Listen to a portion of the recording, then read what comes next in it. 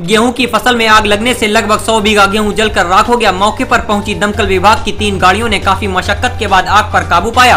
बताते चले, हरदोई कोतवाली थाना क्षेत्र अंतर्गत सुरसा ब्लाक के कुतुआपुर गाँव के पास खजूरहरा रोड पर गेहूँ की फ़सल में आज दोपहर अचानक आग लग गई, जिससे वहाँ पर खड़ी गेहूँ की फ़सल धुआँ कर जलने लगी। धुआँ देखकर आसपास के ग्रामीणों ने इसकी सूचना कोतवाली पुलिस को दी व दमकल विभाग को दी। करीब एक घंटे बाद पुलिस और दमकल विभाग की तीन गाड़ियाँ मौके पर पहुँच गईं और आग पर काबू पाने के लिए मशक्कत करने लगे।